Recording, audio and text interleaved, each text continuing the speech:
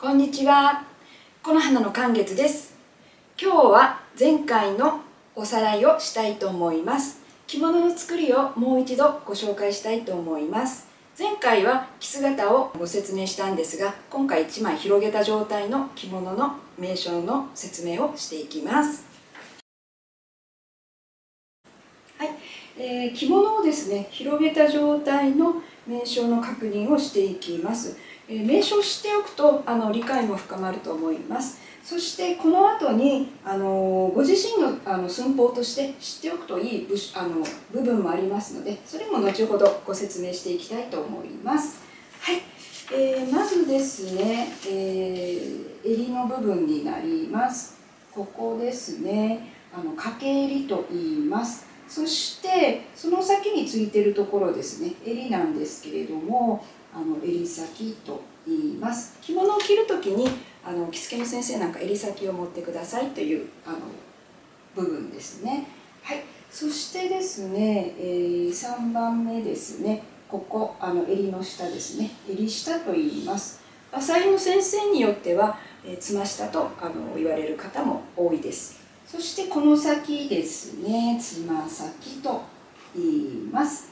はい。そしてですねここですね次奥身と言います。襟の下にこう1枚布がついている部分ですね。そしてですねここにですね奥身線っていうのがあるんですがあのここが結構あの着付けの時に重要になるあの線になりますね。おなあの名前として覚えておいてください。はい。そしてここですね広い部分を前身頃と言います。はい。そうしましたら次はお袖の方ですね。ここ袖口ですね。袖口と言います。そして、えー次がここですね。袖のここですね。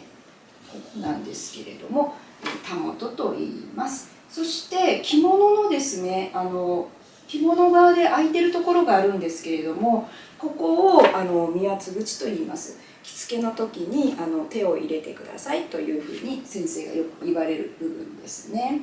はい、えー次は後ろの方を説明していきます。はい、肩のラインですね。肩山と言います。そして次知っておきたいところが御丈ですね。この肩の線から裾の線ですね。ここをですね。御丈と言います。そして、えーこの後ろの真ん中の線ですね。背縫いと言います。あの着付けの時に、えー背縫いを持ってくださいとか背中心を持ってくださいとあのよく言われるところですね。はい、そして、えーここですね。広い面のところ後ろ身ごろと言いますね。後ろ身ごろです。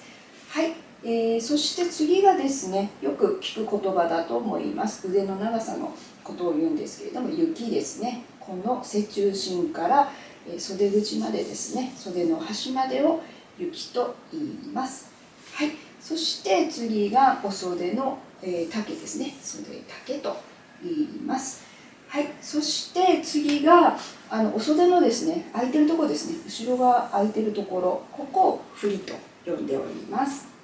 はいそれでは知っておきたい前サイズの部署をご紹介したいと思います、えーまずは前なんですけれども、えーこのお着物の、えー奥見線ですね。奥見線からお着物の脇のところまでの幅ですね。前幅と言います。まずはこちらを、え知っておいてください。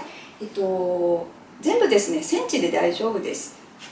はい次はあの後ろが重点的になります、え2番目は後ろ幅ですね、えー背縫いのところからこの着物の脇の幅ですね。後ろ幅。はい、えー次が御丈ですね。この先ほど言いました肩山から裾までですね。この御丈というのを知っておくといいです、えー、大体あのご自分の身長と同じぐらいと思っていただいて大丈夫です。はい、えー次が雪ですね。この背縫いのところから、えー袖の、端までなんですけれども、えー実はこの、えー肩幅ちょっと測るのにコツがありましてこの襟と、えー背縫いがあのここですね、え重なったところというかこの交点のところから、えー肩のですね、えー袖をつけるところですね斜めに測ります。肩幅はこのように斜めに測りますね。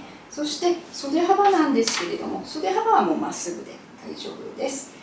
この寸法を知っておくと例えばあのリユース着物だとかあのリサイクル着物を探される時に、えとっても便利なのでよろしかったら参考にしてみてください。今回は着物の名称と知っておきたいマイサイズのご紹介をしてみました。